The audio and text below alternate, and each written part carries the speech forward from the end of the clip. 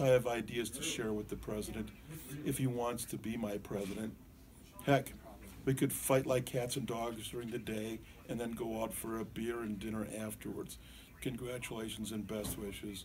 Be awesome, really. then I've got, okay. P.S. Okay, improve Obamacare, appoint Merrick Garland, respect women, uh, everyone, uh, men, women, and children, uh, living wage, save Medicare and Social Security, and don't build the wall.